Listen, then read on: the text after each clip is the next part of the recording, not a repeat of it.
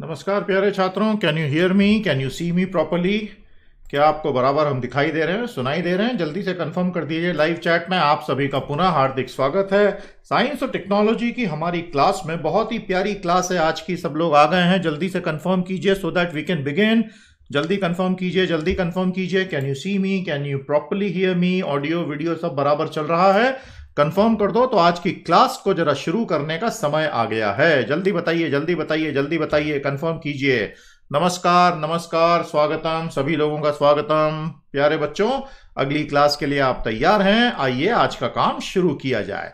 तो सबसे पहले भैया, आपको फिर से हम दिखा देते हैं कि ये हमारा परिचय, जो नए बच्चे आए हैं, उनके लिए लगातार नए बच्चे आते जा रहे हैं। अच्छी बात है, और ये है सिलेबस का परिचय। यस और नो तो प्यारे दोस्तों, अब शुरू करते हैं। आपको एक रिमाइंडर के साथ कृपया मेरा कोड बहुत अच्छे से नोट कर लीजिए। S M sir one zero S M S I R one zero कृपया जब भी आप अगली बार अन अकेडमी पर प्लस पर जाएँ और सब्सक्राइब करें, उनके अलग अलग पैकेजेस हैं प्लस पोर्टल के, मेरा ही कोड इस्तेमाल करें। Thank you so much for your love and support आप अगर अभी एनरोल करेंगे, वहाँ मेरा साइंस और technology crash course for prelims 2020 on है। उसके 20 सेशन हो गए, आपको बहुत मज़ा आएगा। 50 सेशन का कोर्स है, आप बहुत इंजॉय करेंगे। एस एम सर टेन का कोड ज़रूर लगाएँ सीएसई में सिविल सर्विसेज़ में। यह हमारा इस हफ़्ते का शेड्यूल है, आज मंगलवार है इंडिजिनस टेक्नोलॉजीज़ पर बात होगी। तो सबसे पहले मुझे बता दीजिए इंडिजिनस टेक्नोलॉजीज़ की परिभाषा क्या होती है? और कल का हमारा एक कॉन्सेप्ट भी बचा हुआ है। कल हमने रेमडेसिविर की बात छूट गई थी कॉन्सेप्ट नंबर 98 वो आज सबसे पहले लेंगे, उसको पाँच मिनट में निपटा लेंगे। और फिर आज अद्भुत सेशन है, जिसमें हम हमारी स्वदेशी प्रौद्योगिकियों की बात करेंगे कि आखिर भारत में कौन कौन सी इंडिजिनस टेक्नोलॉजीज़ पर काफ़ी सारा काम पिछले कुछ सालों में हुआ है, वो हम आपको आज बताने वाले हैं। एक्साइटेड और नॉट तो क्या आप ऐसी कुछ टेक्नोलॉजीज़ के नाम हमारे साथ शेयर कर सकते हैं, जो आपको पता हो? जल्दी से बताइए। क्या ऐसी कुछ टेक्नोलॉजीज़ आपको पता है, वो हमें बताइए जल्दी से प्यारे दोस्तों। रैपिंग मैनिया क्या बात है, बड़ी प्यारी प्यारी बातें लिखी हैं आपने। सभी बच्चों का स्वागत, सभी बच्चों का स्वागत, सभी बच्चों का स्वागत। दिन में आज आपने कितनी क्लासेस अटेंड की और इस सप्ताह का शेड्यूल पूरा क्लियर है। तो आगे बढ़ने से पहले, कल हम आपको बहुत सारे एमसीक्यूज कराने वाले हैं। तो कल की क्लास तो भैया बिल्कुल ही मिस मत करना। कल बहुत बहुत महत्वपूर्ण क्लास होगी। अभी तक के हमारे 98 कॉन्सेप्ट्स ये रहे, ये सभी एग्ज़ाम ओरिएंटेड है, उम्मीद करूँगा आपको बहुत मज़ा आया। मैं हर बार इसलिए दिखाता हूँ कि आपको एक कॉन्फिडेंस आए कि हाँ हमने ये सब कर लिया। कल हमने पढ़ा था, प्यारे दोस्तों, corona virus protein decoding neutrino detectors BCG vaccine viruses versus bacteria sonic boom और रेमडेसिविर रेमडेसिविर बच गया था, वो हम आज करेंगे। तैयार हैं आप? शुरू करें आज का काम तो पूरे जोश में एक बार बोल दीजिए, करके दिखाएँगे। पॉजिटिव स्पिरिट के साथ क्या करके दिखाएँगे? अरे भाई, अच्छी पढ़ाई। और परीक्षा में सफलता यस और नो रेमडेसिविर फॉर कोविड 19 ये काफ़ी महत्वपूर्ण खबर है दोस्तों। आइए इसे थोड़ा सा समझते हैं। तो ये एक एंटीवायरल ड्रग है, जिस एंटीवायरल ड्रग को अब कोविड के लिए सॉलिडेरिटी ट्रायल्स में यूज़ किया जा रहा है। तो मुझे आप जरा बताइए डब्ल्यू एच ओ के बॉस कौन है? डब्ल्यू एच ओ के बॉस का नाम जल्दी से बताइए। बहुत बढ़िया। जी S L V P S L V made in India Pinaka very good Sudhanshu ji, आपका स्वागत है। आदित्य सियोती जी का स्वागत है। बहुत बढ़िया बहुत बढ़िया। स्वागतम। बहुत जोश में है बच्चे। बहुत अच्छी बात है। पॉजिटिव रहिए पॉजिटिव रहिए। सब कुछ बढ़िया होगा। तो मुझे सबसे पहले बताएँ वर्ल्ड हेल्थ ऑर्गेनाइजेशन विश्व स्वास्थ्य संगठन के कौन है करता धरता? उनके चीफ जो हैं, साहब का नाम जल्दी से बता दीजिए। क्या आपको पता है? डॉक्टर टेड्रोस गेब्रेसियस उसके चीफ हैं। अगर पता है तो कमेंट थ्रेड में एक बार टाइप भी कर दो बेटा। Solidarity trials of W H O ये नाम कृपया ध्यान रखिएगा। सॉलिडेरिटी का मतलब होता है एक दूसरे के प्रति विश्वास दिखाते हुए आगे बढ़ना। तो दुनिया के देशों को डब्ल्यूटीओ ये बोल रहा है, दोस्तों कि किस प्रकार से हम सॉलिडेरिटी दिखाते हुए आगे बढ़ सकते हैं कोरोना से लड़ने के ट्रायल्स में? समझ में आया कि नहीं? डेविड मेलपा साहब जो हैं, डब्ल्यू के नहीं है प्यारे बच्चों, वो किसी और वर्ल्ड के संस्थान के हैं। तो टेड्रोस अधनम जो हैं, ये साहब डब्ल्यू एच ओ के चीफ हैं। प्यारे दोस्तों इसमें चार लाइंस ऑफ़ ट्रीटमेंट अलग अलग तरीके से कोविड के लिए ट्राई की जा रही है। सॉलिडरिटी ट्रायल का कॉन्सेप्ट क्या है? अब मैं जो अगले एक मिनट में आपको समझाने जा रहा हूँ बहुत बहुत ध्यान से समझिएगा। डॉक्टर टेड्रोस के बारे में भी आपको बता दूँगा, पहले ये समझ लीजिए। क्योंकि आज कोई वैक्सीन नहीं है, क्योंकि आज कोई ड्रग प्रूवन नहीं है, और क्योंकि आज हमें पता ही नहीं है कि किस तारीख को कोई वैक्सीन या ड्रग आएगा तो डब्ल्यूएचओ ने क्या किया? डब्ल्यू ने कहा कि अलग अलग चार लाइनों पे दुनिया भर के देश सॉलिडेरिटी ट्रायल्स में आगे बढ़े। तो इसमें नेचुरली रिस्क तो रहेगी ही, क्योंकि कई सारे ड्रग्स बैकफायर भी कर सकते हैं, हमें पता नहीं है। रेमडेसिविर दवाई जो है 2014 में पश्चिम अफ्रीका में इबोला वायरस के इन्फेक्शन से निपटने के लिए बनाई गई थी। रेमडेसिविर दवा एंटीवायरल दवा, पश्चिम अफ्रीका में इबोला वायरस के प्रकोप से बचाने के लिए आपको डब्ल्यू एच ओ ने दुनिया में लॉन्च करवाई थी। समझ में आया? उसको बाद में सार्स और मर्स दोनों के लिए ट्राई किया गया।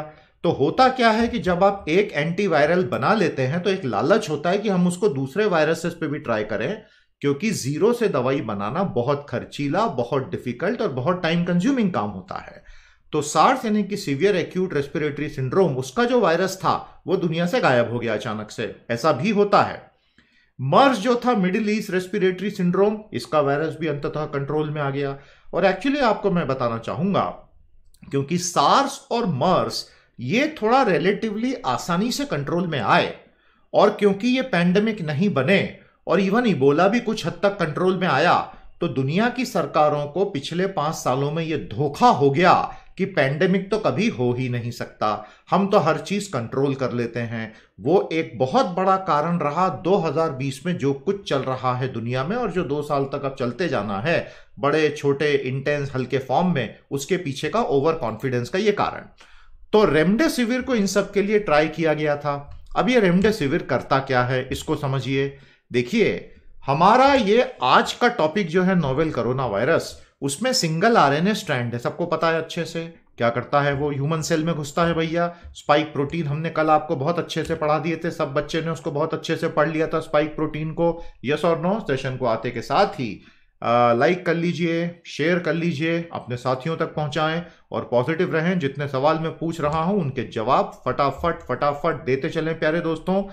मेरे प्यारे साथियों, इस बात को समझिए जब स्पाइक प्रोटीन से वो एसी टू रिसेप्टर में बाइंड करके अंदर घुसता और अपना आरएनए छोड़ देता है और उसके बाद अपनी कॉपियाँ बनवाना शुरू करता है तो साइंटिस्ट लोगों को यह पता है कि उस वक्त एक एंजाइम है आर डी आर पी वो इस वायरस की कॉपी बनाने में मदद करती है। मैंने आपको पहले एंजाइम्स और हॉर्मोन्स के बीच का अंतर इसीलिए समझाया था।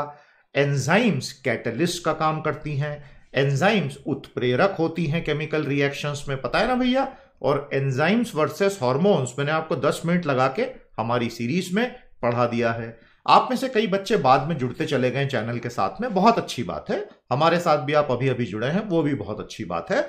लेकिन हमारी पूरी सीरीज़ आज ही हमारा थर्टी सेशन आ गया है। प्यारे दोस्तों, अभी तक के हमारे पूरे थर्टी सेशन की प्लेलिस्ट आपको अन अकेडमी के इस खूबसूरत चैनल पर मिलेगी।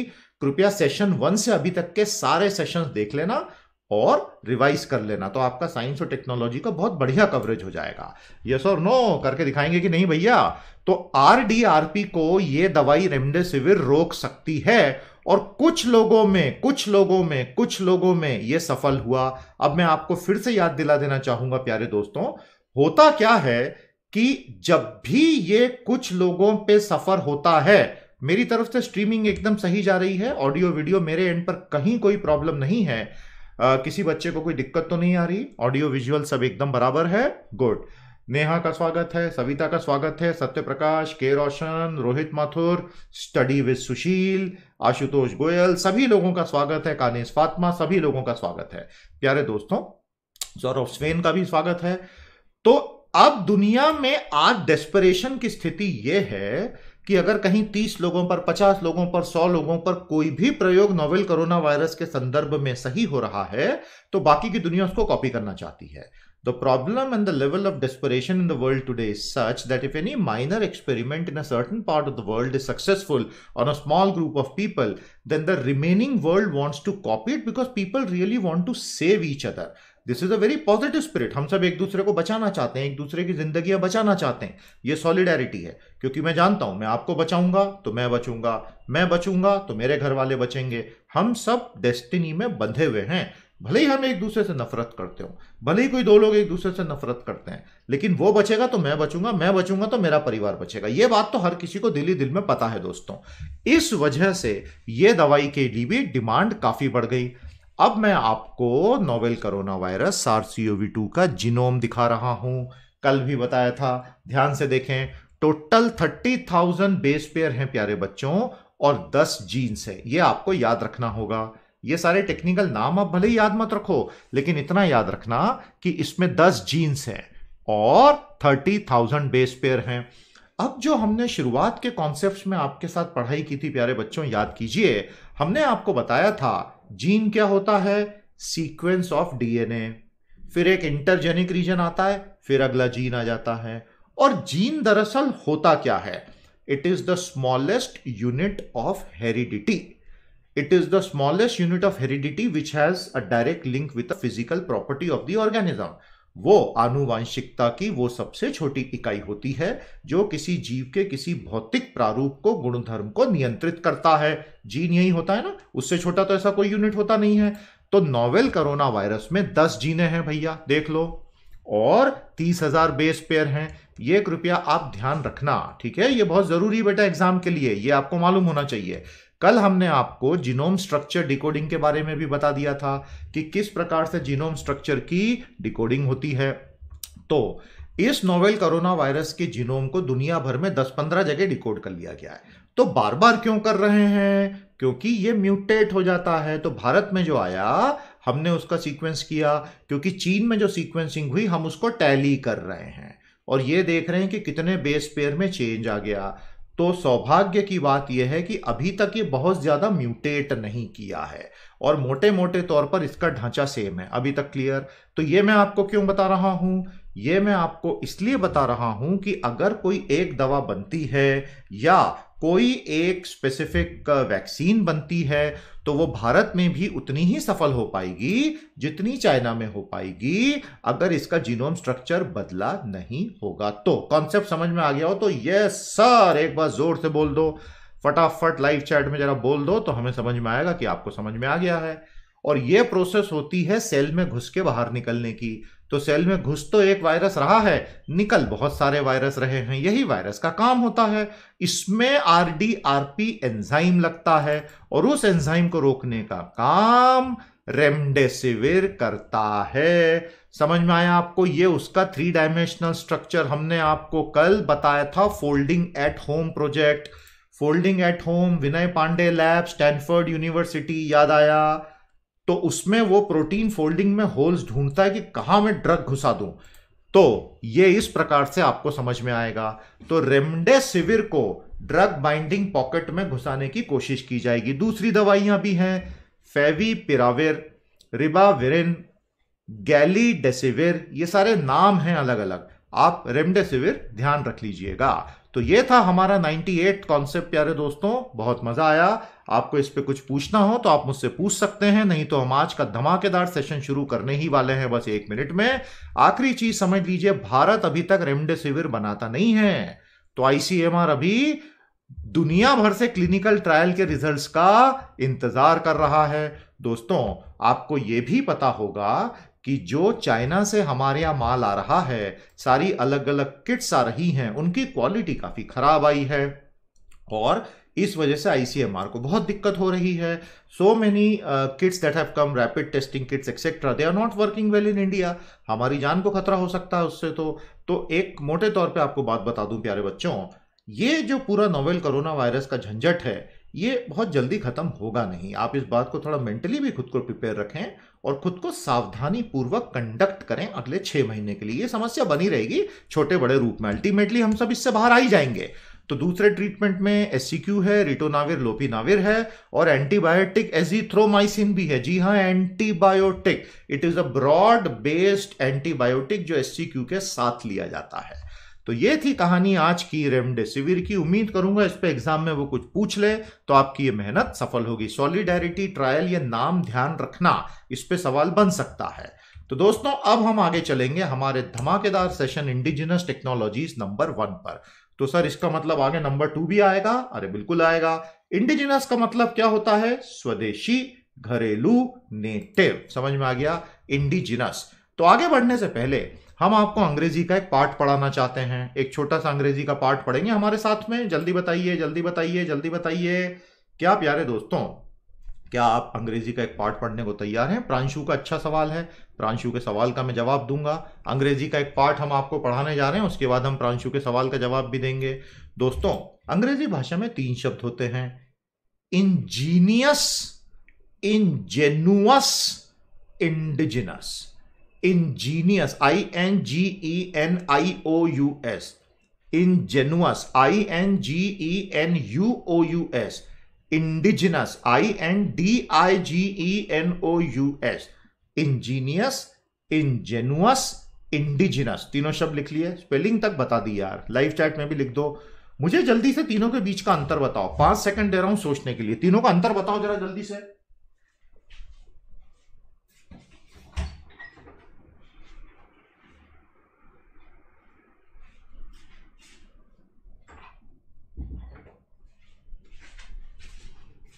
अंतर बताओ बेटा। काफ़ी देर लग रही है अंतर बताने में, जल्दी अंतर बताओ। फिर आपको प्रसाद भी देना है। जल्दी बताइए तीनों के बीच का अंतर। जल्दी बताइए तीनों के बीच का अंतर। मेरे प्यारे साथियों इंजीनियस का मतलब होता है this is an ingenious solution brilliant solution ingenuous का मतलब होता है someone who is very naive very innocent जो बहुत आसानी से यकीन कर लेगा। इनजेनुअस और इंडिजिनस का मतलब होता है लोकल एंड नेटिव तीनों याद रहेंगे तो ingenious very smart and brilliant solution ingenuous someone who very ingenuous attitude यानी बहुत आसानी से यकीन करेगा। और इंडिजिनस यानी स्वदेशी नेटिव मज़ा आया आपको? तो ये अंग्रेज़ी का पार्ट भी हमने साथ में पढ़ा दिया। कंफ्यूजिंग वर्ड होते हैं और अंग्रेज़ी का पेपर भी सिविल सर्विसेज़ में और बाकी की परीक्षाओं में होता ही है। यस और नो अब हम प्रांशु के सवाल पर आते हैं। प्रांशु ने पूछा कि, सर, आप बोल रहे हैं कि वैक्सीन अभी नहीं आएगा? प्रांशु, मैं नहीं बोल रहा हूँ, विज्ञान बोल रहा है। दुनिया भर के डब्ल्यू के एक्सपर्ट बोल रहे हैं। भारत सरकार बोल रही, मैं तो मैसेंजर हूँ बेटा, मैं तो चाहता हूँ कल सुबह आ जाए। एनीवे तो प्रांशु कहता है कि, सर, आप बोल रहे हैं कि वैक्सीन नहीं आएगी तो क्या लॉकडाउन ऐसे ही चलता रहेगा? यही तो वो ट्रिलियन डॉलर क्वेश्चन है भारत सरकार के सामने लाइव्स वर्सेस लाइवलीहुड की जो बड़ी डिबेट है। कि आजीविका बनाम जीवन, ये जो एक बहुत बड़ा विवाद चर्चा है। दोस्तों, वैक्सीन भगवान से प्रार्थना है कि कल सुबह आ जाए, लेकिन इतिहास गवाह है कि ऐसी वैक्सीनें इतनी जल्दी नहीं आती। दूसरी बात, कल सुबह अगर वैक्सीन आ गई, उसको मास मैन्युफैक्चर करके 50 करोड़ 100 करोड़ 200 करोड़ वैक्सीन बनाने में कम से कम पाँच साल लगेंगे। आपको लगता है एक महीने में हो जाएगा? क्या इतना आसान समझ रखा है क्या? तो इसका मतलब यह है कि हर्ड इम्यूनिटी ही एक रास्ता है और ड्रग्स एक रास्ता है। अब ड्रग्स कब आएँगे? किसी को पता नहीं, इसीलिए तो इतनी मार्केट मची। ये ट्राई करो रेमडेसिविर करो, ये करो, वो करो, ये करो। तो क्या लॉकडाउन चलता रहेगा? वो भी सॉल्यूशन नहीं है। तो इसीलिए कह रहे हैं प्यारे दोस्तों कि दुनिया पूरी तरह से बदल जाने वाली है। भारत में तीन तारीख को लॉकडाउन समाप्त होगा। फिर भारत सरकार क्या करेगी? धीरे धीरे लॉकडाउन को लिफ्ट करेगी और भारत सरकार पूरे समय एक ही प्रार्थना करेगी प्रभु से कि भैया, बड़ा स्पर्ट फिर से न आ जाए किसी शहर में, किसी कॉलेज में, किसी स्कूल में, किसी होटल में, किसी कंपनी में, किसी डिस्ट्रिक्ट में। नहीं तो अगर बड़ा स्पर्ट फिर से आया तो फिर से पूरे भारत का लॉकडाउन करना पड़ जाएगा। वही करेंगे ना, आप उनकी जगह होते तो क्या करते? हैं तो ये एक लड़ाई है, ये लड़ाई चलती रहेगी, ये अब खत्म नहीं होनी है। इसका मतलब दुनिया बदल जाएगी होटल इंडस्ट्री बदल जाएगी टूरिज़्म बदल जाएगी एयरलाइन इंडस्ट्री बदल जाएगी स्कूल कॉलेज बदल जाएँगे। किसी भी क्लास में अब आपको एक एक मीटर की दूरी पे बैठना है तो 60 की क्लास में पंद्रह बीस से ज़्यादा बच्चे नहीं बैठ सकते। आप बात समझ रहे हैं? कोटा का पूरा मॉडल ही ध्वस्त हो जाएगा। आई होप आप समझ रहे हैं मेरी बात। कोटा में अगर चार लाख बच्चा एक साथ बैठ के पढ़ता था, आप कौन माँ बाप भेजेंगे कोटा इस साल अपने बच्चे को? तो वहाँ का पूरा मॉडल ही ध्वस्त हो जाएगा। और अगर एक क्लास में दो सौ बैठते थे तो वहाँ पर आपको सिर्फ़ चालीस बिठाने एक एक मीटर दूर तो वो इंस्टीट्यूशन चल ही नहीं पाएँगे। ये होगा। मैंने आपको प्रैक्टिकल बात समझाई। समझ में आ गई? तो एक बार ज़ोर से बोल दो, संदीप सर, जिंदाबाद। संदीप सर महान है, लिखो। नहीं कंपलसरी है, नहीं लिखोगे तो करोना माता का प्रसाद नहीं दूँगा तुमको। हाँ नहीं तो। प्यारे दोस्तों I hope you have understood whatever I have said तो अब आगे बढ़ने से पहले फटाफट जरा करोना माता का प्रसाद ले लो बेटा सब लोग। जिन्होंने लाइक किया सेशन को, उन्हीं को दिया जाएगा, बाकी लोगों के लिए नहीं है। प्लीज़ आप हाथ पीछे कीजिए। जिन्होंने लाइक कर लिया, वो लोग सब करोना माता का प्रसाद ले लीजिए, अच्छे से हाथ को रगड़ लीजिए, प्यारे दोस्तों। और खुद को सुरक्षित और स्वस्थ रखिए। आज की हमारी पहली इंडिजिनस टेक्नोलॉजी है एटॉमिक क्लॉक बाय इसरो जो दरअसल है C S I R NPL की। तो C S I R NPL का फुल फॉर्म बताओ बेटा, मुझे फटाफट क्या होता है? और ये I R N S S one I में गया था। ये आपको बताएँगे। और originally C S I R NPL ने इसको बनाया रूबीडियम क्लॉक से ये बताएँगे। एटॉमिक क्लॉक के फंडामेंटल्स आपको समझाएँगे कि एग्जैक्टली एटॉमिक क्लॉक में होता क्या है, ये पूरा बताएँगे। उसके बाद इसको एनिमेशन के ज़रिए सीजीएम एटम की पूरी कहानी क्या है वो बताएँगे। और उसके बाद अगली technology BrahMos and the indigenous seeker इसकी बात की जाएगी। तो आइए शुरू करते हैं दोस्तों। एटॉमिक क्लॉक बाय इसरो यानी C S I R NPL तो मेरा पहला सवाल था C S I R NPL का नाम बताइए, पूरा फुल फॉर्म बताइए C S I R NPL जल्दी बताइए C S I R NPL full form बता दो बेटा लपक के जरा लपक के बता दो। प्यारे दोस्तों, आप बहुत अच्छे से जानते हैं Council for Scientific and Industrial Research National Physical Laboratory जो है, भारत का अग्रणी संस्थान है रिसर्च और डेवलपमेंट का। Development of an atomic clock इन्होंने ओरिजिनली डेवलप करके इसरो को दिया और इसरो ने उसको आगे और अधिक विकसित किया। दुनिया के बहुत कम अंतरिक्ष संगठनों के पास इस तरह के हाई क्वालिटी एटॉमिक क्लॉक्स होते हैं। देखिए, सबसे बेसिक क्लॉक होता है pendulum tick tock tick tock horror movies में देता था ना कि वो भूत यहाँ से आ रहा है और वो हीरो यहाँ से जा रहा है और हीरोइन वहाँ से आ रही है और यहाँ ये पेंडुलम ऐसा घूम रहा टेक टॉक, अब उन हॉरर मूवीज़ में अगर एटॉमिक क्लॉक दिखाते सीजियम एटम्स की तो कोई देखने ही नहीं जाता मूवी इतनी कॉम्प्लेक्स मशीन रखी है, इसलिए वहाँ टेक टॉक ऐसी हॉरर मूवी तो हॉरर मूवीज़ देखिए आपने? मज़ा आता है आपको हॉरर मूवीज़ में? बहुत प्यारी प्यारी हॉरर मूवीज़ बनी ड्रैकुलर सीरीज़ का तो कहना ही क्या? तो दोस्तों, इसरो, उन चंद स्पेस रिसर्च एजेंसीज में से एक है, जिसके पास इस तरह की टेक्नोलॉजी आ गई। ये समझ में आया आपको? तो इस टेक्नोलॉजी से हुआ क्या? वो भी अभी देखेंगे। नाउ नासा का जो डीप स्पेस एटॉमिक क्लॉक है, वो एक बहुत ही हाई क्वालिटी स्टैंडर्ड है, जिसमें मर्क्यूरी यूज़ करता है नासा। ये आपको मालूम होना चाहिए, वो क्यों मर्क्यूरी यूज़ करता है और नासा एग्जैक्टली exactly उसमें क्या करता है, ये भी आपको बताया जाएगा। थोड़ी देर में हम आपको ये भी बताएँगे कि एग्जैक्टली exactly वहाँ पर क्या होता है। समझ में आया आपको? मेरे प्यारे दोस्तों, रितेश जी आए हैं। रितेश जी ने हमको अभी अभी गाली दी है। बहुत अच्छा लग रहा है देख से। आजकल स्टूडेंट्स हमारे टीचर्स को खुल्लम खुल्ला लाइव चैट में गाली देते हैं, बेटा, सिर्फ़ इतना ही क्यों लिखा? माँ बहन की गालियाँ भी दे दो। तुम्हारे परिवार के सारे संस्कार, तुम्हारे माता पिता ने तुमको क्या सिखाया? वो सारे संस्कार, तुम्हारे स्कूल, कॉलेज के टीचर्स ने क्या सिखाया? वो सारे संस्कार, और तुम सारी ज़िंदगी यही करोगे? तुम अपने घर वालों को माता पिता को भी यही गाली दोगे? मुझे पूरा यकीन है बेटा, तुम ही इस देश का भविष्य डेमोग्राफिक डिविडेंड हो। और गाली बको बेटा, और गाली बको। बहुत अच्छा कर रहे हो बेटा तुम, बहुत अच्छा कर रहे हो। इस देश के नेता, इस देश के सारे के सारे बड़े बड़े लोग तुमको देख के बहुत खुश होंगे। बहुत बढ़िया बेटा, बहुत बढ़िया। दिल खुश कर दिया बेटा तूने मेरा। घर जाके माँ बाप को भी यही गालियाँ देना, ऋषभ मीना, ठीक है? तुरंत तुरंत निकलो अपने घर की तरफ़। गालियाँ बकना शुरू करते हुए, है ना? बहुत बढ़िया बेटा, बहुत बढ़िया।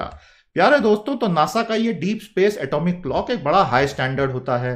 नासा का ये जो आप समझ रहे हैं डीप स्पेस एटॉमिक स्टैंडर्ड, ये एक ऐसी एटॉमिक क्लॉक नासा ने बनाई जो इसरो के लिए एक मानक बन गई। इसरो का जो सीजियम एटम का पूरा क्लॉक है वो वो तो ऑलरेडी ऊपर जा चुका है और वो I R N S S one I में लग चुका है। नासा उससे पहले कर चुका है। नासा के जो स्टैंडर्ड है, वो इससे भी हाई स्टैंडर्ड है। बात समझ में आया आपको?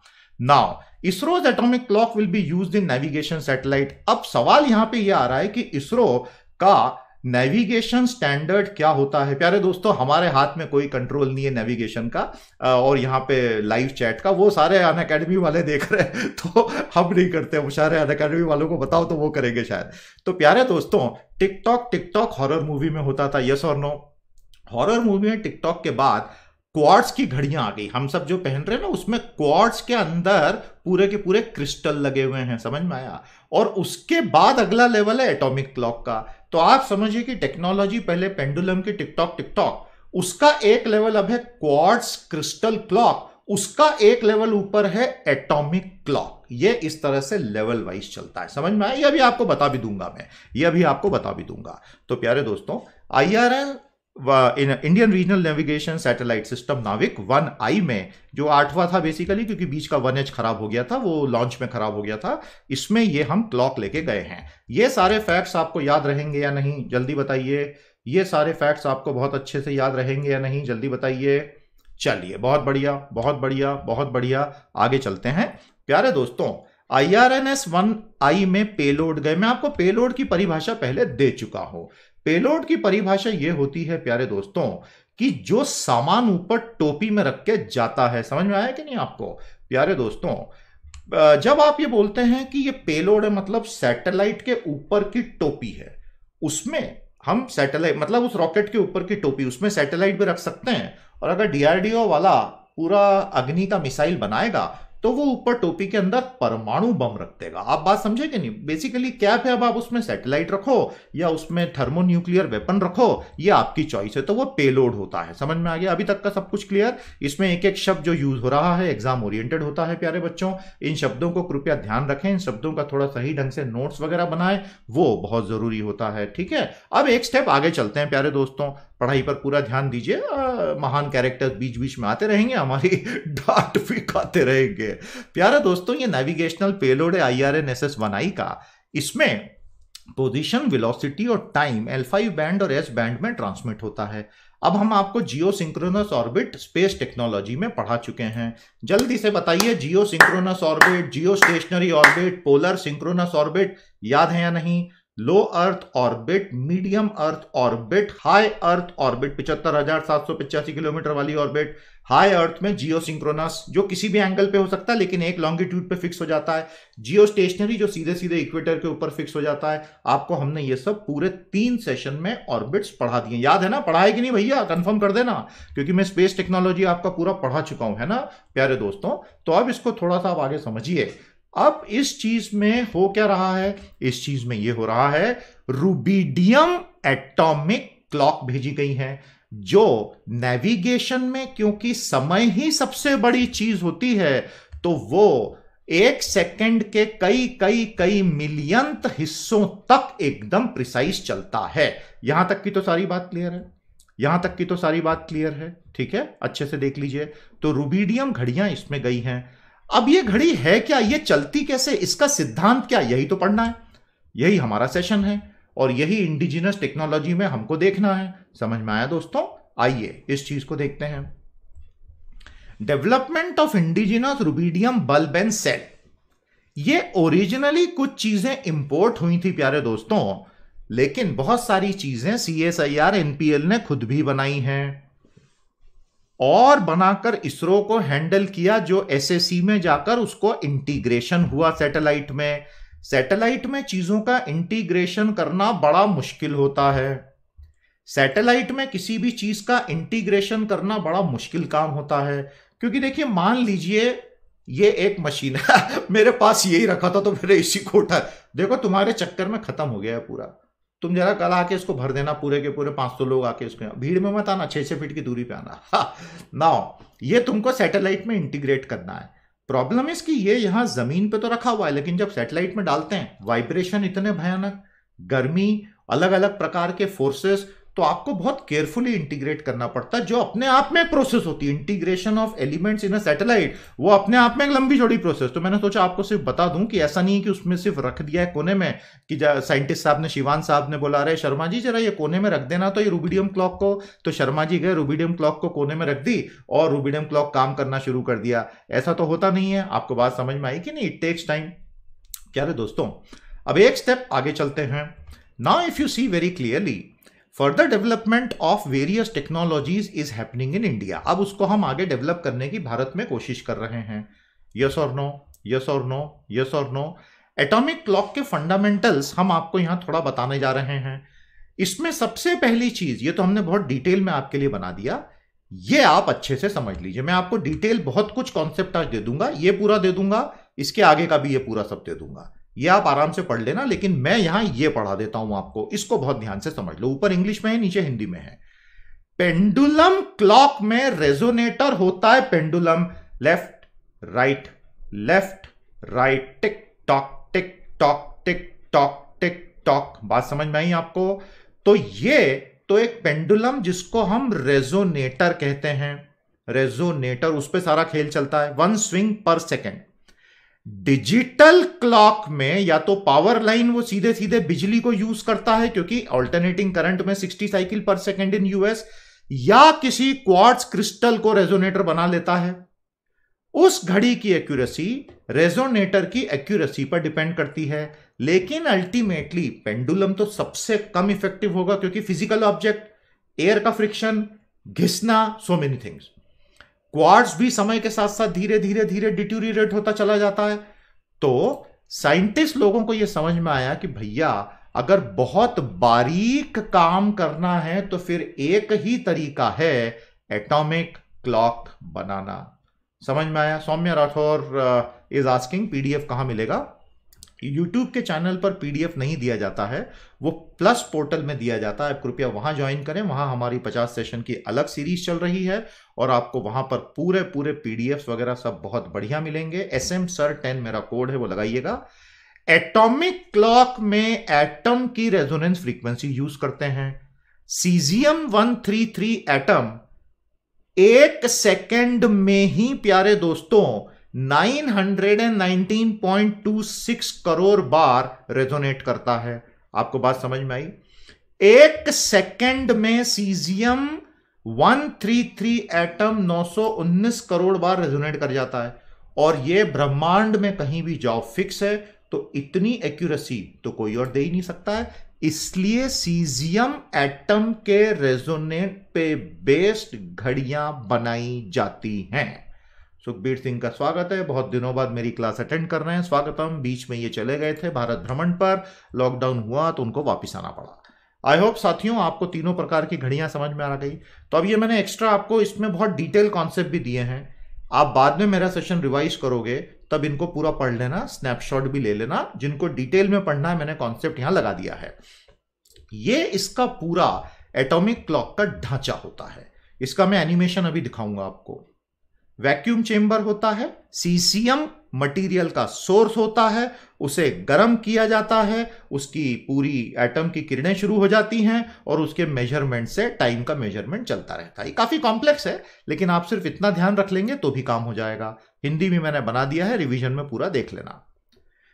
लेफ़्ट साइड में सीजियम ओवन है, जिसको हम अवन कहेंगे।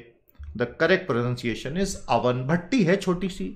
तो ये सीजियम का अवन है, गर्म किया, वहाँ से बीम शुरू हुई, उसको हमने मैग्नेट्स में स्टिर किया माइक्रोवेव से उस पर एक रेजोनेंस इंट्रोड्यूस किया गया डिटेक्टर है, जिससे आप उसमें बहुत बारीक लेवल का टाइम मेज़रमेंट कर सकते हो। ये इसका बेसिक सिद्धांत है। इससे ज़्यादा टेक्निकल आपसे कोई नहीं पूछेगा, ये आईआईटी जेई की परीक्षा नहीं है, उसकी तो अब एडवांस परीक्षा इस साल होगी भी कि नहीं, पता नहीं। सेकेंड इज़ डिफाइंड नीचे जो लिखा है, उसको पढ़ेंगे आप. सेकेंड को इंटरनेशनल सिस्टम में अब इसी प्रकार से डिफाइन किया जाता है. सीजियम 133 एटम की ग्राउंड स्टेट की ट्रांजिशन बिटवीन टू लेवल्स की एनर्जी को. उसका जो ड्यूरेशन होता है which is again 919.26 crore cycles per second आप बहुत अच्छे से जानते हैं. International system of measurement SI system में हमने आपको उस दिन भी वो पूरे की पूरी सारी यूनिट समझाई थी कि किलोग्राम का पूरा मेज़रमेंट कैसे बदला। तो सेकंड को अब हमने सीजियम के इस प्रकार के फेस चेंज के साथ डिफाइन कर दिया तो आगे का सब कुछ इससे कंट्रोल हुआ। बेसिक बात ये समझ लो कि एक्यूरेसी है, बस उससे काम हो जाएगा। तो ये था हमारा एटॉमिक क्लॉक से संबंधित काफ़ी टेक्निकल टॉपिक आपको एग्ज़ाम में हर चीज़ तो नहीं रटनी है, लेकिन एटलीस्ट उसके की वर्ड्स पता हो, मैंने उस हिसाब से बेटा आपके लिए कंटेंट बना दिया है। समझ में आ गया है? यस और नो तो बोलो यस सर करके दिखाएँगे। समझ में आ गया कि नहीं? करके दिखाएँगे करके दिखाएँगे करके दिखाएँगे। तो क्या ब्रह्मोस और इंडिजिनस सीकर पर आ जाएँ अब हम? तो प्यारे दोस्तों, अब हम आ गए हैं ब्रह्मोस और इंडिजिनस सीकर सीसीएम अवन कैसे चलती है? उसको हीट प्रोड्यूस की, उसको हीट प्रोवाइड की जाती है बेटा। उसको हीट प्रोवाइड की जाती है। समझ में आ गया आपको? चलिए तो इस साल की आई आईआईटी जेई के लिए अब सजेशन आ रहे हैं कि भैया सिर्फ़ मेंस पे ही कर लो, क्योंकि अब एडवांस वगैरह लेने का ना टाइम है ना कुछ, जो कि ठीक नहीं होगा, क्योंकि आईआईटी एडवांस एक बहुत अलग तरह की परीक्षा होती है आईआईटी मेंस एक बहुत अलग तरह की परीक्षा होती है, पर अब परिस्थितियाँ ऐसी हो गई हैं कि भैया क्या करें? ब्रह्मोस और इंडिजिनस सीकर की बात करेंगे दोस्तों, यहाँ आपको 20-25 बहुत सारी नई नई चीज़ें आज पता चलने वाली हैं। यस और नो शुरू हो जाएँ। तो अब सभी को पता है ब्रह्मोस एक पोर्टमेंटू वर्ड है। पोर्टमेंटू का मतलब होता है दो शब्दों को जोड़ के। तो ब्रह्मपुत्र और मस्कवा, दोनों नदियों को नाम जोड़ दिया तो बन गया ब्रह्मोस, ब्रह्मपुत्र और मस्कवा, रूस की नदी। इन दोनों को जब जोड़ा तो बना BrahMos which is a portmanteau word, यानी कि दो शब्दों को मिला के बनाया हुआ वर्ड। यहाँ मैं आपको क्या क्या पढ़ाऊँगा? प्यारे दोस्तों, ब्रह्मोस है क्या? इंडिजिनस सीकर क्या है? रशियन सीकर क्या था? और ईसीआईएल ने इसको कैसे बनाया, क्या किया? और ब्रह्मोस के स्पेशल फीचर्स क्या हैं? और रैमजेट इंजन क्या होता है? ब्रह्मोस में रैमजेट इंजन लगा हुआ है। मुझसे बहुत पहले एक स्टूडेंट ने पूछा था इसी सीरीज़ में अन अकेडमी पर, कि सर रैमजेट इंजन क्या होता है बताइएगा। तो आज समय आया है, मैं आपको डिटेल में समझाऊँगा कि रैमजेट इंजन क्या होता है। समझ में आया? थैंक यू सो मच इतने प्यारे प्यारे कमेंट्स आ रहे हैं। बहुत बहुत धन्यवाद बच्चों। बहुत बहुत धन्यवाद। आपका प्यार ही हमारी ताकत है। प्लस पोर्टल पर आप मेरा ही कोड यूज़ करें। S M sir one zero वो मेरा कोड है। अब शुरू कर दें भैया ब्रह्मोस। ब्रह्मोस मिसाइल प्रोग्राम भारत और रूस का संयुक्त उपक्रम है। पहला पॉइंट क्लियर ये एक रैमजेट सुपरसोनिक क्रूज मिसाइल है। ये लाइन ज़रूर अच्छे से याद कर लेना। रैमजेट सुपरसोनिक क्रूज मिसाइल अब सुपरसोनिक तो आपको पता है, हमने कल सोनिक बूम की बात की थी। समझ में आया? सोनिक बूम की हमने बात की थी कल की जब कोई वस्तु, अगर कोई प्लेन है या बुलेट है, जो साउंड की स्पीड इन एयर से ज़्यादा तेज से जाती है तो एक पूरा एक्सप्लोजन पीछे छोड़ते हुए जाती है। याद है? आंचल पूछ रही है फाइटर प्लेन का लाइसेंस कहाँ बनता है? फाइटर प्लेन के पायलट से जिस पुलिस वाले ने किसी दिन लाइसेंस मांगने की गलती कर ली, उस पुलिस वाले का चालान बन जाएगा। I hope that is very clear अरे भैया इंडियन एयरफोर्स ही करता होगा ना यार, और कौन करता? पर कितना नादान, मासूम और प्यारा सा सवाल था कि सर, फाइटर प्लेन्स का लाइसेंस कहाँ बनता है? मानो हमारे लोकल आरटीओ ऑफ़िस में फाइटर प्लेन वाले खड़े हैं और साथ में एक इन्वेटर बैठा हाँ चलो, यहाँ से मरो तो हाँ इसको ऐसा लो। अरे ब्रेक लगा। जैसा कि होता नॉर्मल टेस्ट ड्राइविंग टेस्ट में।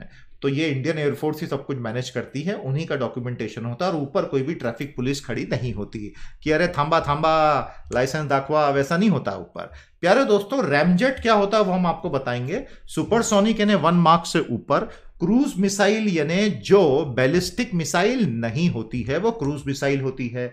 बैलिस्टिक यानी जो अंतरिक्ष में जाके लौट कर आती है क्रूज मिसाइल यानी जो ज़मीन से चिपक कर चलती है 10 metre 20 metre 30 metre 40 metre 100 metre 150 metre, वो पानी के भी बहुत पास से चल सकती है ताकि रेडार से बच जाए। उसको क्रूज मिसाइल कहते हैं। आपको बात समझ में आई? बैलिस्टिक मिसाइल यानी अग्नि। बैलिस्टिक मिसाइल यानी अंतरिक्ष में जाएगी और फिर बुलेट से कई गुना स्पीड से लौट कर आएगी। उसको रोक पाना बहुत मुश्किल होता है। समझ में आया? तो I hope this is very very clear my dear students land air sea तीनों से इसको लॉन्च किया जा सकता है, इसलिए ये बहुत डेडली मिसाइल बन पाई है, और ये लगभग तीन मार्क की स्पीड से चलती है। दुनिया में कोई आपसे पूछे, सबसे फास्ट क्रूज मिसाइल कौन सी है तो जवाब एक ही दीजिएगा, ब्रह्मोस। इसकी स्पीड को और चार, पाँच, छह, सात मार्क तक ले जाने की कोशिश चल रही है, और इसकी दूरी को 300 किलोमीटर से बढ़ाने की कोशिश एमटीसीआर में हो जाएगी। आई होप ये क्लियर है। तो अभी तक रशिया से इसके बहुत सारे सिस्टम आ रहे थे वो धीरे धीरे भारत ने इंडिजिनाइज कर दिए हैं। ये है टेक्नोलॉजी अब आपको हम वही बताएँगे कि इंडिजिनाइज ब्रह्मोस में क्या हुआ। दोस्तों 2018 में पहली बार 2018 में पहली बार पोखरण टेस्ट रेंज में supersonic BrahMos cruise missile fitted with Indian made seeker छोड़ा गया। तो सीकर किसी भी मिसाइल में लगा हुआ वो यंत्र होता है जो अपने टारगेट को सीक करता है। समझ में आया? आपने पहले पैरामीटर्स फ़ीड कर दिए। आप उसको चलते हुए समय भी ये फायर एंड फर्गेट टाइप की मिसाइल है, लेकिन यू कैन गाइड इट ऐसा नहीं है कि आप उसको गाइड नहीं कर सकते। तो आपने उसमें सीकर इंडिया मेड लगाया। समझ में आया? ये पहले रशिया से आता था। लेफ़्ट साइड में रशिया वाला है राइट साइड में इंडिया वाला है।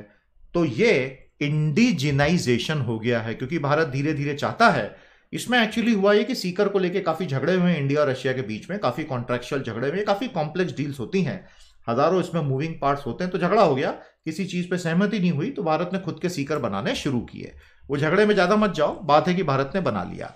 तो precision strike weapon with indigenous seeker ये बिल्कुल सही ढंग से फ्लाई करके गया, और सरकार ने फिर इस पर अप्रूवल भी दिया कि हाँ ये सीकर जो है, इसकी पूरी की पूरी टेक्नोलॉजी सही है और ये एकदम सही गया है। समझ में आ गया दोस्तों आपको पूरी तरह से? I hope this is totally clear I hope this is totally clear प्यारे दोस्तों, अभी अन अकेडमी के प्लस पोर्टल पे मेरी साइंस की क्लास चल रही है। मैं अगले महीने, मई के महीने में अन अकेडमी के प्लस पोर्टल पे मेरा तीस घंटे का इकोनॉमी का कोर्स लाने जा रहा हूँ। तो मेरा इकोनॉमी का 30 घंटे का कोर्स मई के महीने में लॉन्च हो जाएगा। अन अकेडमी प्लस पोर्टल पर मेरा code S M sir one zero रहेगा।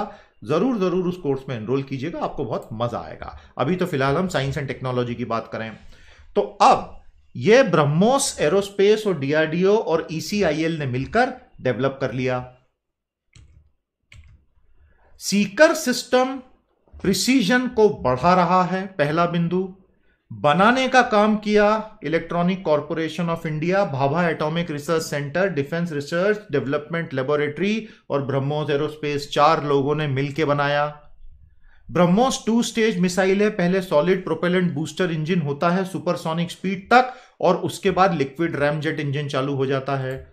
सॉलिड इंजन चालू होता है, सॉलिड फ्यूल का ब्रह्मोस को वन मैक के आगे ले जाता है सेपरेट हो जाता है, अपने आप रैमजेट इंजन चालू हो जाता है। अब ऐसा क्यों? रैमजेट इंजन की खासियत यह होती है कि उसमें टर्बाइन नहीं लगे होते हैं, वो डायरेक्टली सुपरसोनिक एयर को अंदर लेता है कंबशन होता है और फिर थ्रस्ट आता है। लेकिन रैमजेट इंजन ज़ीरो से वन मैक तक नहीं ले जा सकता, इसलिए पहले सॉलिड प्रोपेलेंट इंजन होता है। अगर स्क्रैम जेट होता तो वो ज़ीरो से वहाँ भी ले जाता, लेकिन हम अभी स्क्रैम जेट पे नहीं है, अभी हम रैम जेट पर है। अभी आपको इमेज में दिखाऊँगा। तो ये फ़र्क होता है स्क्रैम और रैम का। उसके बाद वो तीन मार्क की क्रूजिंग स्पीड पर चलने लगता है। समझ में आ गया? तो यह है इसकी पूरी कहानी। और दिसंबर 2019 यानी आज से तीन चार महीने पहले, इसकी एयरफ्रेम भी भारतीय हो गई। फ्यूल मैनेजमेंट सिस्टम भी भारतीय हो गया, सीकर भी भारतीय हो गया, और यह लगभग पूरी तरह से भारतीय मिसाइल बन गई। समझ में आ गया? I hope that is totally clear प्यारे दोस्तों तो अब यह है इसके विभिन्न हिस्से, अच्छे से देख लीजिए। ये बहुत अच्छा इन्फोग्राफिक है, ब्रह्मोस की साइड से ही लिया है मैंने। इसलिए आपको कहीं दिक्कत इसमें नहीं होगी। पंद्रह मिनट का समय बचा है, काफ़ी कुछ पढ़ना है, अच्छी गति से हम चल रहे हैं।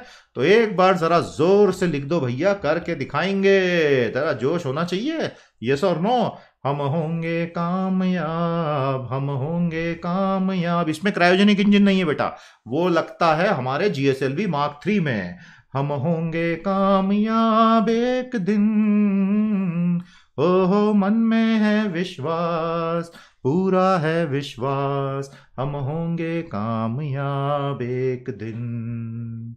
प्यारे दोस्तों, ये इसके सारे हिस्से हैं, अच्छे से देख लीजिएगा। इसके सारे फीचर्स को भी पढ़ लीजिएगा, ये आपके लिए यूज़ हो सकते हैं। सॉलिड स्टेट प्रोपेलेंट पहले आता है और उसके बाद रैमजेट ऊपर आता है। क्लियर ये हैं एक, दो, तीन, चार, पाँच प्रकार के प्रोपल्शन इंजन तो अगर किसी को अब ये पूछना है, इसके बाद हम भारत की बहुत बड़ी विजय पर आ रहे हैं।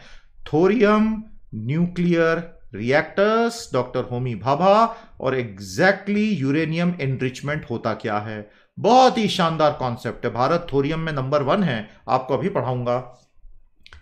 दुनिया में मिसाइलों में लगने वाले इंजन आपके सामने हैं।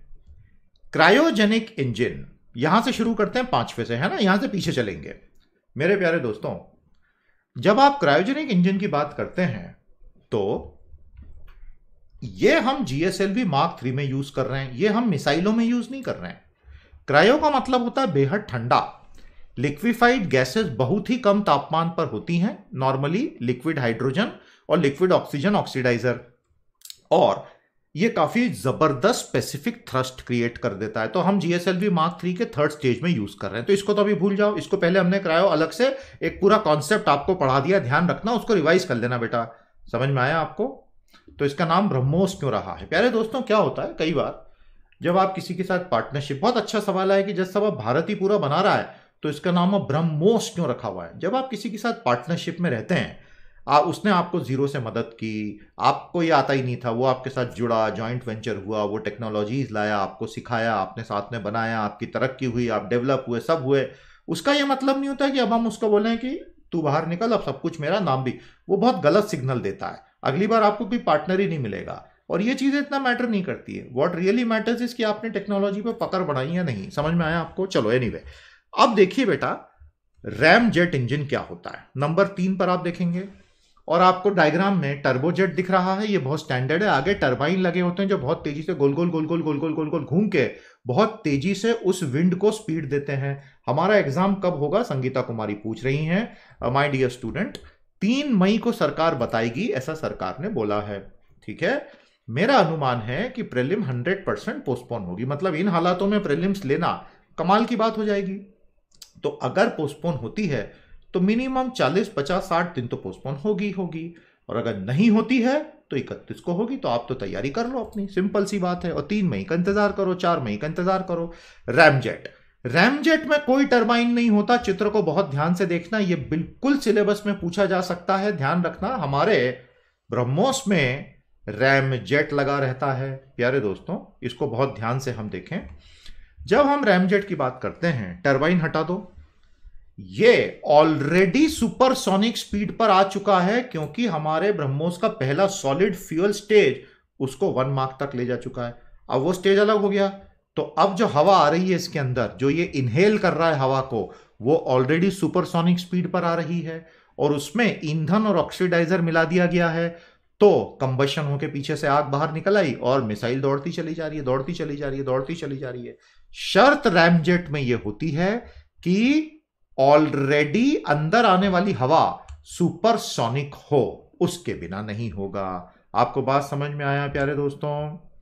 तो स्क्रैम जेट में क्या होता है? स्क्रैम जेट शुरू से ही उसको उस स्पीड पर ले जाने के लिए बनाया जाता है। वो एक अलग ही टेक्नोलॉजी है, उसको अभी छोड़ दीजिए। चलिए तो मैं उम्मीद करता हूँ आपको यह सब कुछ समझ में आ गया। एक बार शुरू से फिर से दिखा देता हूँ। छोटी छोटी बहुत सी चीज़ों पे हमने इसमें बात की है। ब्रह्मोस और इंडिजिनस सीकर की बात की। ब्रह्मोस कैसे है? किस प्रकार की मिसाइल है? उसके फीचर्स क्या क्या हैं? कौन कौन से संस्थान इन्वॉल्व हैं? अच्छे से देखें इसके हिस्से क्या क्या हैं? रशिया वर्सेस इंडिया ये सारे अलग अलग चीज़ें और इसके विभिन्न हिस्से और फाइनली रैमजेट इंजन तो भारत ने इसको अपने लेवल पर डेवलप कर लिया। बहुत बढ़िया। अब आते हैं भारत की सत्तर सालों की एक बहुत बड़ी अचीवमेंट पर, जिसको नॉर्मली कहा जाता है three stage nuclear power programme यह दुनिया का अपने किस्म का सबसे अनोखा प्रोग्राम है। तीन चरण परमाणु ऊर्जा कार्यक्रम। दोस्तों, ये क्या होता है? बहुत ध्यान से समझिए। Three stage nuclear power programme Bharat के परमाणु प्रोग्राम में डॉक्टर होमी जहांगीर भाभा ने 1950-60 में यह सोचा था। भारत के पास यूरेनियम के भंडार बहुत कम हैं। लेकिन भारत दुनिया में थोरियम का सबसे बड़ा भंडार लेके बैठा हुआ है। थोरियम विखंडनीय नहीं है फिसाइल मटेरियल नहीं है न्यूक्लियर रिएक्शन नहीं होती है। उसमें पहले यू टू थर्टी थ्री घुसाना पड़ेगा तो थोरियम मिल सकता है, उसके बिना नहीं। तो यू टू थर्टी थ्री को लाने के लिए पहले की दो चरण। तो भाभा साहब ने यह पूरा प्लान बना के भारत को दिया। उसी प्लान को अब हम पढ़ने जा रहे हैं। यह भारत की न्यूक्लियर पावर सेक्टर की सबसे बड़ी कहानी है। बहुत ध्यान से इसको पढ़िए बहुत ध्यान से इसको समझिए। अब चलते हैं। शुरू करें प्यारे दोस्तों। संध्या ने पूछा है कि क्या आने वाले रिसेशन का इन सब की फंडिंग पर असर पड़ेगा? आ, मैं भगवान से उम्मीद करता हूँ प्रार्थना करता हूँ कि ना पड़े लेकिन दुखद सच्चाई यह है कि पड़ेगा। प्यारे दोस्तों आज की क्या स्थिति है, मैं आपको बता देता हूँ। हमारे जितने भी राज्य हैं भारत के, जो एक्चुअली लड़ाई लड़ रहे हैं, भाई, आप और हम तो किसी राज्य में है ना? मैं मध्य प्रदेश में हूँ, आप राजस्थान में आप तमिलनाडु में आप आसाम। वहाँ तो राज्य चला रहा है ना सब कुछ। The revenue side of the states has collapsed but the expenditure side has increase तो राज्यों के राजस्व हो गए, अंडा, शराब की बिक्री बंद रियल एस्टेट प्रॉपर्टी ट्रांजैक्शंस बंद जीएसटी का पैसा मिलना बहुत डिले हो गया ट्रांसपोर्टेशन सेक्टर बंद, एंटरटेनमेंट और फ़िल्म सेक्टर बंद, सारी चीज़ें जिससे स्टेट सबसे ज़्यादा पैसे कमाते थे, वो सारी चीज़ें हो गई बंद। तो अब उनको पैसा चाहिए, पैसा मिल नहीं रहा है, बहुत दिक्कत है। तो आने वाले समय में प्रेशर बहुत भयंकर बिल्ड होगा। तो सरकार स्टिमुलस लाएगी लाएगी, अभी तक नहीं लाई है, लाएगी ही लाएगी। टेम्पररीली आरबीआई जो है वेज एंड मीन्स एडवांसेज बड़ा बढ़ा के बड़ा बढ़ा के धक्का दे रहा है। आरबीआई कब तक है? अल्टीमेटली भारत सरकार को 10 से 15 लाख करोड़ का स्टिमुलस जल्दी से जल्दी ले आना चाहिए, क्योंकि लाना तो पड़ेगा। आज नहीं तो कल। वो तो अब जब लॉकडाउन धीरे धीरे लिफ्ट होगा तो आपकी इसकी गंभीरता का एहसास आपको होने वाला है, दोस्तों। बात सिर्फ़ भारत की नहीं है रे, बात पूरी दुनिया की है। दुनिया बदल चुकी है, समझ लेना। लोग पहले कहा करते थे ना, तुम बहुत बदल चुके हो। अब ये दुनिया ही बोलेगी कि, मैं बहुत बदल चुकी हूँ। बात समझ में आई आपको? तो सिचुएशन बहुत बहुत ज़्यादा अलग होगी। मैं आपको डरा नहीं रहा हूँ, मैं सिर्फ़ बता रहा हूँ, क्योंकि ये होना है और हम इससे मिलके लड़के निकल सकते हैं, इसमें कुछ भी इंपॉसिबल नहीं है। तो दोस्तों अब जरा फटाफट इसको हम पढ़ें। हमारे पास दस मिनट का समय है, उसमें मैं आपको ये पूरा समझा दूँगा। पूरी पॉजिटिव स्पिरिट से पढ़ें। भारत के पास यूरेनियम तो नहीं है, लेकिन थोरियम भर भर के है। दुनिया के 63 लाख टन थोरियम में भारत के पास 9 लाख टन थोरियम है। तो ये तो बहुत बड़ी मात्रा है। दुनिया का 10 परसेंट से ज़्यादा भारत के पास है 15 परसेंट भारत के पास है। तो हमारे वैज्ञानिक, और ये मोनाजाइट सैंड में मिलता है, मोनाजाइट रेत में मिलता है। बात समझ में आया आपको? प्यारे दोस्तों, मोनाजाइट सैंड क्या होती है? ये यहाँ यहाँ मिलती है, देख लो। और राइट साइड में आपको मोनाजाइट सैंड दिख रही है, जो कि वेरी रिच इन थोरियम होती है। एक बहुत लंबा चौड़ा स्कैम मोनाजाइट स्कैम का हुआ सैंड का हो चुका है पिछले पंद्रह सालों में। वो सब फाइलें दब गई, सब दब गया मोनाजाइट सैंड स्कैम आप चेक कीजिएगा, आपको काफ़ी आश्चर्य होगा, उसमें जो चीज़ें आपको पढ़ने को मिलेंगी। चलो, उस चीज़ को छोड़ते हैं।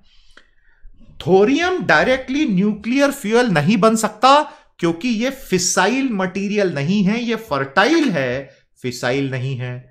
फर्टाइल का मतलब यह है कि अगर कोई और फिसाइल मटेरियल के साथ इसको लगा दू न्यूक्लियर पावर प्लांट में तो ये फिशी फिशन में हिस्सा ले सकता है। उसके बिना नहीं ले पाएगा। तो इसलिए हमें स्टेज वन और स्टेज टू बनाना पड़ रहा है, जिससे स्टेज थ्री पर हम आएँगे। अभी आपको थोड़ी देर में बताएँगे। बिल्कुल, रांची प्लेटो में मिलती है दोस्त। बिल्कुल सही बोले आप। Breed fissile U two thirty three thorium is a naturally occurring radioactive metal बहुत कम रेडियो एक्टिव लेकिन 1828 में जॉन्स जेकब बर्जिलियस ने ढूंढ के निकाला था और Norse god of thunder Thor के नाम पे थोरियम नाम पड़ा। ये जीके का फैक्ट है, मालूम रहे तो अच्छा रहेगा। थोरियम की खासियत यह है, पानी में घुलता नहीं है, इसलिए रेत में तो मिलता है, लेकिन पानी में नहीं मिलता, लेकिन यूरेनियम सोल्यूबल है, ये बहुत बड़ा फ़र्क है, इसलिए ये रेत में ही मिलता है, पानी में नहीं मिलता। ये सारे फैक्ट्स कुछ बेसिक डिस्क्रिप्शन के फैक्ट हैं, अभी हम इंडिजिनस टेक्नोलॉजी पर इसमें नहीं आए, उसमें हम आ रहे हैं, उसमें हम आ रहे हैं, उसमें हम आ रहे हैं, एक मिनट में आ रहे हैं, ठीक है बेटा? तो ये कहाँ कहाँ मिलता है आपको बताया? देख लीजिए। खासतौर पर तमिलनाडु में इसके बेहद प्रचुर भंडार मिलते हैं। मोनोजाइट सैंड से निकाला जाता है दोस्तों इसको, जिसमें नाइन परसेंट थोरियम है जो कि बहुत ही बड़ी मात्रा मानी जा सकती है। डॉक्टर होमी जहांगीर भाभा, भारत में परमाणु संयंत्र, परमाणु ऊर्जा और भारत के परमाणु क्षेत्र के भीष्म पितामह। तो सबसे पहले कमेंट थ्रेड में प्यारे दोस्तों, डॉक्टर होमी भाभा जिंदाबाद जिंदाबाद। कमेंट थ्रेड में फटाफट लिख दो। भारत की इन सब महान हस्तियों को, इन सभी वैज्ञानिकों को जिन्होंने आधुनिक भारत की नींव रखी है वो नींव आज हमको दिखती नहीं, हम सिर्फ़ मीठे मीठे फल खा रहे हैं, पेड़ से निकले हुए। वो पेड़ की जड़ों में जिन्होंने नींव बनाई, खाद दी, पानी दिया, वो ये लोग थे। तो इनका सम्मान करना हमारा कर्तव्य है, इसलिए फटाफट लिख दो, डॉक्टर होमी भाभा जिंदाबाद। प्यारे दोस्तों, होमी भाभा साहब को जब उस वक्त प्रधानमंत्री नेहरू लेकर आए थे, पूरा का पूरा विजनरी आदमी थे पंडित नेहरू। 1950s और 60s में एक आधुनिक भारत बनाने का सपना लेके चले थे और उन्होंने साइंस टेक्नोलॉजी में सारी एक फंडामेंटल फाउंडेशन तो तब होमी भाभा साहब को यह समझ में आया कि भारत की अप्रोच बहुत अलग होनी पड़ेगी। ये पूरा डायग्राम जो आप देख रहे हो ना, ये होमी जहांगीर भाभा साहब के दिमाग से निकला हुआ डायग्राम है बेटा। Three stage nuclear power system of India ये अभी आपको हम पढ़ाएँगे। थ्री स्टेज न्यूक्लियर पावर पूरा एक चेन ऑफ़ इंडिया जो है, वो आपको अभी बताएँगे कि किस, और ये आपको एग्ज़ाम के लिए पूरा पता होना चाहिए। मेंस में तो सीधा सीधा सवाल बन सकता है, और उसके अलावा भी प्यारे दोस्तों प्रेलिम्स में भी बन सकता है, ठीक है? भारत में सबसे ज़्यादा पाया जाता है प्रांशु जी, भारत नंबर वन में है थोरियम में, समझ में आया आपको? I hope that is clear my dear students अब आइए इसको थोड़ा समझते हैं। थोरियम क्योंकि फिसाइल नहीं है, विखंडनीय नहीं है, ये बहुत बड़ा टेंशन था। और वो डायरेक्टली उसको हम फिशन में यूज़ नहीं कर सकते, नहीं तो भारत अभी तक तो 30-40 गीगावाट परमाणु ऊर्जा बना रहा होता। भारत में आज कुल मिला के केवल सात गीगावाट परमाणु ऊर्जा बनती है। कितनी बनती है बेटा? सेवन गीगावाट परमाणु ऊर्जा। टोटल हमारी कैपेसिटी आज इंस्टॉल्ड एनर्जी की कितनी है? साढ़े तीन सौ गीगावाट तो परमाणु ऊर्जा हमारे यहाँ आगे बढ़ ही नहीं पाई, उसके बहुत सारे रीजंस रहे हैं। लेकिन अगले 20 साल की योजना भारत सरकार की है। अब ये सब कोविड होने के बाद वो कैपिटल एक्सपेंसेस हम कर भी पाएँगे या नहीं, पता नहीं। वो तो अब हमको देखना होगा कि आगे क्या होगा। समझ में आया प्यारे दोस्तों? चलिए, अब इस पर आते हैं। तो ये it must be transmuted to uranium 233 in a reactor fuelled by some other first two stages और उसके बाद थोरियम तीसरे स्टेज में। तो आइए अब मैं आपको सीधे इस डायग्राम पर ले आता हूँ। बहुत ध्यान से देखिए यह है भारत की इंडिजिनस टेक्नोलॉजी हमारी स्वदेशी प्रौद्योगिकी। ठीक है जी? अब इसको ध्यान से आप देख रहे हैं। फ़र्स्ट स्टेज में प्रेशराइज्ड हेवी वाटर रिएक्टर है। देखिए, सात तरह के परमाणु रिएक्टर होते हैं। परमाणु रिएक्टर सात प्रकार के हो सकते हैं अलग अलग इन सभी में अल्टीमेटली क्या होता है? स्टीम बनती है। और स्टीम कहाँ जाके टकराएगी? टरबाइन में। बस खत्म, वो आगे का तो कहानी वही है भैया पूरी। टरबाइन घूमेगी, इलेक्ट्रिक इंडक्शन मोटर चलेगी, बिजली बनेगी और आपके घरों में बत्तियाँ जलेंगी। बस वो फंडा आगे का सब वही है, फंडा फिक्स है। हाइड्रो इलेक्ट्रिक हो, थर्मल हो, न्यूक्लियर। लेकिन वो स्टीम आई कहाँ से? वहाँ आप ये ऊर्जा लेते हैं उस पर से पानी ले जाते हैं, इतना गर्म होता है कि वो झट से स्टीम में कन्वर्ट और ये चलती रहती है। आई होप आपको समझ में आ गया कि बेसिकली परमाणु ऊर्जा करती क्या है। दोस्तों मतलब परमाणु संयंत्र में होता क्या है। अब इसको थोड़ा ध्यान से देखेंगे। प्रेशराइज्ड हैवी वाटर रिएक्टर ये फ़र्स्ट स्टेज है। इसमें प्राकृतिक यूरेनियम डाला जाता है यू टू थर्टी फाइव वो डिप्लीट होता है तो उसमें से प्लूटोनियम बाहर आता है। पहला कॉलम देख लो। U two thirty five consumption is stage one बहुत ढंग से नोट्स इसके इस ढंग से बना लेना। यू टू थर्टी फाइव प्रथम चरण का कंजम्पशन है। यूरेनियम 235 बना 238 बना प्लूटोनियम 239 दूसरे स्टेज में वो प्लूटोनियम 239 अंदर डाला एज अ फ्यूएल जिसमें थोरियम 232 मिलाया ऊपर से, पहली बार यूज़ होना डायरेक्टली शुरू हुआ है, और U233 बाहर आ गया। कुछ समय के बाद आता है। तीसरे स्टेज में थोरियम मतलब U233 तो बेसिक फ्यूल है और उसमें खूब सारा थोरियम मिलाया तो फिर फाइनली U233 की और बड़ी मात्रा बाहर आ गई। और हर स्टेज पे बिजली तो बन ही रही है। तो थोरियम का बड़ा भारी कंजम्पशन तीसरे स्टेज पे हुआ, हालाँकि थोड़ा सा कंजम्पशन दूसरे स्टेज पे भी था। यह है भारत की परमाणु ऊर्जा की पूरी कहानी stage one stage two stage three क्योंकि हमारे पास थोरियम है। अब आप एक नेचुरल सवाल पूछ सकते हैं कि अगर थोरियम नहीं होता भारत के पास तो क्या होता? तो हमारे पास ये वाला नहीं होता, हम यूरेनियम के आधार पर चल रहे होते। फंडा समझ में आ गया दोस्तों। दो मिनट और लेंगे सेशन को कंप्लीट करेंगे। अन अकेडमी से मेरा निवेदन है, मुझे दो मिनट का समय और दें प्लीज़ उसके बाद मैं सेशन क्लोज करूँगा। प्यारे दोस्तों ये कुछ और चार्ट्स हैं आपको बताने के लिए कि किस प्रकार से फिशन होता है। ये बहुत बहुत बहुत बहुत बहुत बहुत इंपॉर्टेंट है, ध्यान से देख लो। प्राकृतिक यूरेनियम लेफ़्ट साइड में देखना बेटा, केवल 0.7 परसेंट काम का होता है वो लाल वाला यू टू थर्टी फाइव लाल वाला यू टू थर्टी फाइव जो फिशन हो जाता है न्यूट्रॉन के टकराने पे। जो यहाँ हम आपको two thirty three thirty eight बता रहे हैं, इसमें तो कोई फिशन नहीं होगा। थोड़ा सा एनरिच करेंगे। 235 बढ़ गया। हाई एनरिच करेंगे 20 परसेंट हो गया। और बम बनाना है तो 90 परसेंट एनरिच समझ में आ गया? तो प्रकृति में खनन से निकलता है यू टू थर्टी एट लेकिन हमारे काम का होता है यू टू थर्टी फाइव और एनरिच करते करते लास्ट स्टेज पे बम बनाने लायक मसाला मिल जाता है। ईरान के केस में बोला गया था कि आप दूसरी स्टेज तक तो आ सकते हो। ये मैं 2015-16 का बराक ओबामा का जेसीपीयू है joint comprehensive plan of action तो जो 2018 में डोनाल्ड ट्रंप ने कैंसिल कर दिया। I am not gonna go ahead with Iran no sir Iran evil regime no sir I am abandoning it no sir we not gonna ahead with that no sir इसी खुशी में ले लो corona माता का प्रसाद Trump की तरफ़ से लगा लो अच्छे से। मुझे लगता है ट्रंप पी गए थे कहीं, इसीलिए तब से दिमाग खराब चल रहा है। उसके बाद अगली दो स्टेजेस पे ईरान को आने की मनाई थी, लेकिन अब ईरान उसको एनरिच कर करके आगे ला रहा है। और एनरिच सेंट्रीफ्यूज में होता है, इसी में 2010 में अमेरिका और इसराइल ने स्टूएक्स नेट वर्म घुसा दिया था और ईरान के सारे सेंट्रीफ्यूग कोलैप्स हो गए थे। वो ये सेंट्रीफ्यूग्स हैं, और वो वहाँ पर बम भी रखा हुआ आपको दिखा रहे हैं, प्यारे दोस्तों, कि इसमें फाइनली एनरिच यूरेनियम जाता है। ये कुछ और thorium compare to uranium radioactive कचरे के मामले में थोरियम बहुत अच्छा है कंपेयर टू यूरेनियम आज का सेशन यही कंप्लीट होता है। कल हम प्रेलिम्स एमसीक्यूज उसके साथ मिलेंगे। सब अटेंड करने आओगे कि नहीं? कल शाम को सात बजे कंफर्म करो। और अगले दो दिन इंटेलेक्चुअल प्रॉपर्टी राइट वन और टू पर हमारा सेशन होगा दोस्तों। मेरा code S M sir one zero है। प्लस पोर्टल के लिए इसे ही यूज़ कीजिएगा।